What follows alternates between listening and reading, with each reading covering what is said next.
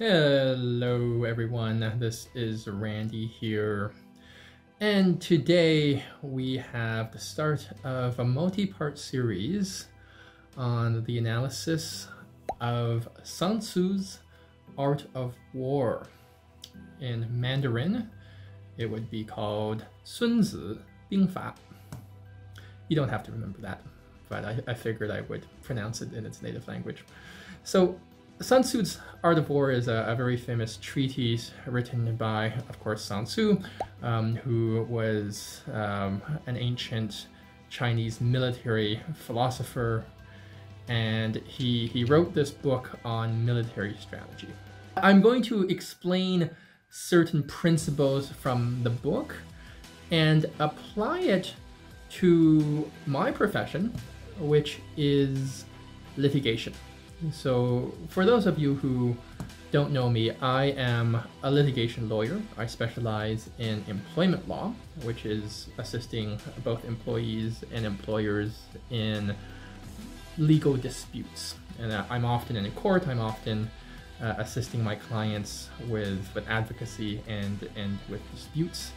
And, and there are many principles in Sun Tzu's Art of War that apply to many aspects of life uh, and one of which is litigation, because litigation is an adversarial process. There's a winner, there's a loser, there's uh, competition between parties. So, in, in, many ways, litigation is, is similar to war.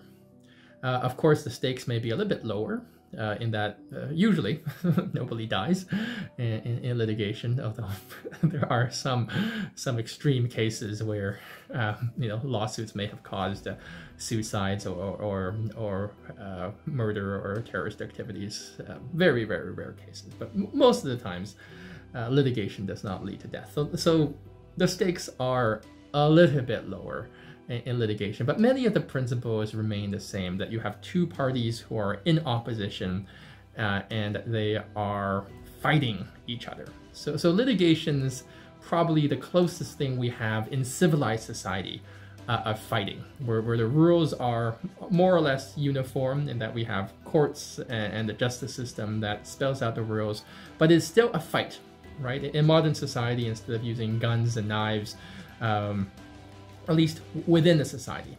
Between societies, obviously, we still have war, but within the society, without using guns and knives and violence, we, we have other ways to fight, uh, ways that are sanctioned by society. Uh, one of which, and the primary way that people fight, um, is through the court system. So that's why there, there's a big parallel between what happens in court and litigation um, and the principles of war. Uh, so using the principles of Sun Tzu in this first episode, um, I will talk about the hierarchy of victory. Sun Tzu says that victory has a hierarchy. There's different levels of victory and that they're not all the same. Um, so, so if you were to imagine this hierarchy, at, at the very top of this hierarchy. The, the type of victory that you want to achieve is, is a decisive victory where you use the fewest amount of resources, right? So where you, for example, have the enemy surrender without firing a single shot, where the enemy capitulates without offering resistance, where you capture a city, for example, without having its inhabitants defend the city. So, so using strategy, coercion, duress, uh, intimidation, using political means to actually win without having to fight. So victory without the need to fight is the highest level of victory according to Sun Tzu. And the next in the hierarchy, a little bit lower than victory without the need to fight, is stopping the enemy from mobilizing and joining their forces. Then slightly lower than that is meeting the enemy in the field, right? A head-to-head combat in the field with the enemy. That, that is a lower form of victory. Victory can still be achieved, but that's not as good as the higher forms of victory. And the worst form of victory is achieved after besieging a walled city that is to say, spending many, many months besieging a city uh, that's well defended, uh, where there's just mass amounts of resources, uh, both in blood and treasure, spent uh, on the capture of a particular city. So that's the worst type of victory. So if we were to draw some parallels to to the legal profession and, and what I do as a litigator, a decisive victory is when where you can convince somehow the the other side where you can convince the other party in in, in this adversarial process to either give up or to give you everything that you asked for. So that, that, that would be a decisive victory without spending too much time and resources in doing so. And I'll explain an example of that later on in this video. The next best is, is having you know, a, a fight with the enemy, perhaps going to court, uh, perhaps having to, to go through go through litigation to somehow resolve a case, but but there's obviously resources spent uh, and legal costs spent in the litigation process.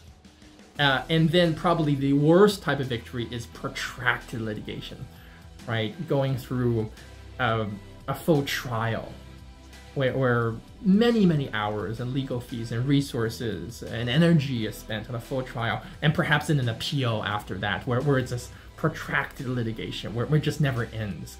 You know, some cases, for example, they, they, they move through the court system or justice system over many years through, through different forums, and at the end there is some a pyrrhic victory where one party wins, you know, wins, but but they end up spending thousands of dollars in legal fees. They spend 10 years of their life pursuing this particular matter. So is that really a victory? At the end, sure, some judge somewhere said that you were right. Um, and you got some amount of money or some judgment in your favor. But but in essence, you've also you've also lost because so much time and energy was spent on that victory. Um, so the best type of, of victory, as I said, is one where you manage to convince your opponent to give up or conversely to give you everything that you want without having to go through a significant fight. I'll give you an example of that through through my own practice. Um, as you know, I mainly represent uh, clients in the workplace setting. So I had once written a demand letter. So a demand letter is a legal letter uh, that you write prior to litigation. So prior to going court, going to court, you, you write this letter as a lawyer and you send it to the other side. And in this case, it was it was the employer of my client. So my client was an employee, and the defendant in this case, or the respondent, or, or the the other party was was an employer. So I had sent this legal letter to the other side, and it was a very well written legal letter with, with the full arguments and, and what my client demanded. And we had a full list of demands, financial demands, in terms of my client's severance package, their benefits, exactly what I wanted. And this letter, it turned out, was so well written that the other side actually just said yes to everything. They said, We're not even going to fight you. we got your letter. Um, we acquiesce to your demands in this letter. So that's probably the best case scenario. This doesn't happen to me that often. Maybe happens uh, uh, once a year if I'm lucky, where, where I write a single letter um, and and my client gets everything, the entire wish list. In, in, in this case, it was everything. And we, we had made some fairly extravagant demands as well, and we got those extravagant demands met by way of one correspondence. So that, that's a golden letter where, where there is no fight, there's no litigation. The other side just says, yes, uh, you sign minutes of settlement, um, and the checks come rolling in. So that's an example of, of a decisive victory uh, early on uh, in the game uh, for, for a plaintiff, for someone who, who's trying to receive compensation from another party. Now, conversely, I've also represented employers. So I've also represented defendants from companies from the other side who, who are now receiving legal letters from other lawyers and other law firms asking for money. So what, what is the opposite of this? Well, the opposite is convincing the other side not to sue, to just give up. So again, an example from my, my professional life is I received a legal letter from, uh, so acting as, as the defendant and the representative of the company in this case, I received a legal letter from another lawyer saying that your client's ex-employee uh, was terminated without cause and, and they want to sue you and, and here's how much we demand and, and if you don't give this to us we're going to go to court we're going to sue your pants off um, and we're going to drag you through this long process.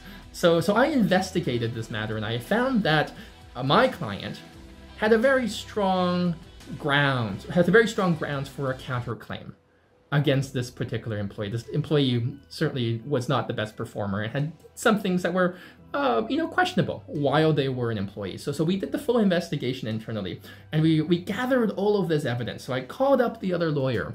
And I presented the evidence to the other lawyer, and I said, if you're going to sue us, we're going to countersue you. We're going to throw all of this at you. We've done our due diligence internally, and, and we're going to make your life really miserable. Um, so if you you're going to drag us through the court system, we're going to drag you through the court system, and we happen to have more resources. So come at me, bro.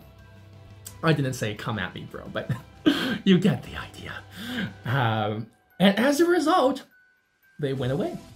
So so they my client, the employer, was never sued. That phone call was highly effective. The lawyer took the evidence back to the client. The client was intimidated uh, their client was intimidated, and, and, this particular plaintiff never became a plaintiff. They, they, they saw the evidence, they disappeared, and they just walked off. So a lawsuit never happened. So that's a decisive victory, a victory without having to fight, a victory at, at the nascent stages of a conflict where you end up avoiding the conflict altogether and securing victory. Uh, there are other examples in, in, in, my professional career where, where that unfortunately did not happen, right? So Sun Tzu says the next best victory is meeting in the battlefield where where you you actually have to fight it out. And, and that's what has happened in some cases where it takes two years, three years, sometimes four years in, in Superior Court or the Ontario Human Rights Tribunal. I, I practice mainly in the province of Ontario, uh, Canada, so that's where, where I do my work sometimes it takes years. I recently, uh, or not me, but my firm recently resolved a, a, case that took four years at the Ontario Human Rights Tribunal. We, we, we won, we won the case, and the client got the money, but four years of that person's life and, and receiving very little income over the four year period. You know, we got them a big, big award, um, but but that's less ideal than getting that amount of money four years earlier, right? Imagine receiving that money four years earlier. You can invest that money. You can put that as down payment towards towards a, um, a, a real estate property. You can do things with that money now rather than have to wait four years later for for that money, right? There's always uh, greater value in receiving money up front than having to wait for it. So that that's a case where, although we won, ultimately there there was a high sacrifice uh, paid by the client. And, and, I'll give you one last example. The worst type of victory, where, where is, you secure the victory, but but over such a long period of time that the, the victory becomes a, a, a Pyrrhic victory in that it's it's symbolic only. And this is not from from my life or, or an example from my firm, uh, but but an ex girlfriend uh, of mine, uh, her father uh, got involved in a car accident, and, and he he became just uh, uh, obsessed with uh, with receiving compensation uh, from from this car accident, and in this case, took over his life really, really just like completely took over his life. Every day he would just obsess with with receiving compensation, and he he he would claim that this car accident made him disabled and made him unable to work. This ruined his entire life, and I think part of it was was malingering, and part of it was just psychological. There's this phenomenon known as uh, learned helplessness, where where you just psychologically uh, self-identify as someone who who is now helpless even though you're not actually completely helpless, you're able to get back on your feet, but you you just become so discouraged that you identify as as, as just completely helpless. And I, I think, unfortunately, this happened to my ex-girlfriend's uh, father. Uh, he was a very nice man, but, but he was very obsessed with, with this lawsuit. By the time I had dated my, my ex-girlfriend, um, he had been in this lawsuit process for, I think, about six or eight years by then.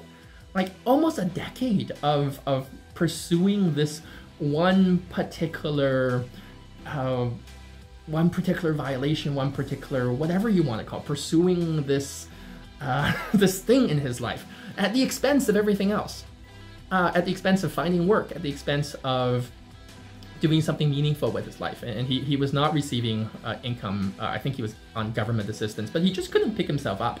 Um, and eventually, uh, you know, you know, two years into into dating uh, my ex girlfriend, and we broke up around the two year mark. But two two years into into this relationship, uh, like at the eight to ten year mark of her father's legal battle, it, the case finally resolved and he got some small uh, amount of money, uh, nowhere near the amount that he thought he would receive after some somewhere between eight to ten years of protracted litigation, right? It was just not worth it. Sometimes it's just better to to move on with life um, and focus on better things. That that's the equivalent of what Sun Tzu would say is besieging a walled city, right? You know, a, a long siege where the defender and the attacker are just stuck in the stagnant stage of attrition, this this stagnant game of attrition, just slowly through through attrition, trying to, to wear the other side down. And, and that's what, what a siege is, right? It comes from the French word uh, excuse me if I'm pronouncing it incorrectly, but siège, uh, which is to wait, right? It is, it's just kind of waiting the, the other side out. Um, and, and that's what happened, unfortunately, to my ex-girlfriend's father. So, so that's a, a, very sad case of, of litigation leading to victory, uh, but eventually also uh, to, to a large extent leading to defeat. So that's some of the parallels I can draw between Sun Tzu's hierarchy of victory uh, and my experience as a lawyer. Uh, again, this is going to be the first episode of multiple episodes on Sun Tzu's Art of War and how it applies to law and, and other aspects of life. I hope you've enjoyed the first video. Stay tuned for the next one. Again, this is Randy Ai. Don't forget to like and subscribe. I hope you're having an amazing day. I will talk to you soon.